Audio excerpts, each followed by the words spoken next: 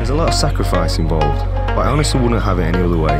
You have to live and breathe it. You won't get yourself to the gym three times a day. Stick to your diet day in, day out, unless you love it. Mm.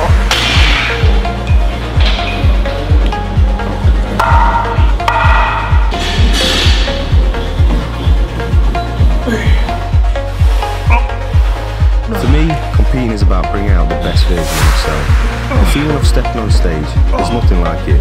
And having all that hard work pay off when you take to the stage is the best feeling in the world.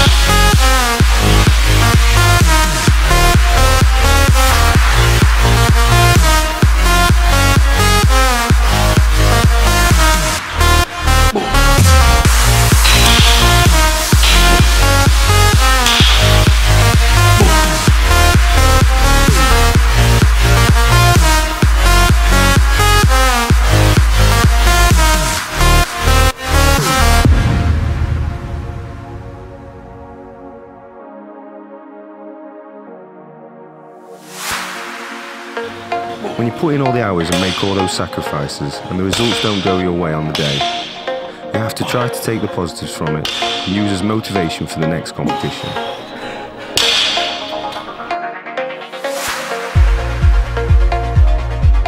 Obviously, my goal is to win every competition I enter, whether it's the Arnold or the Olympia. You train.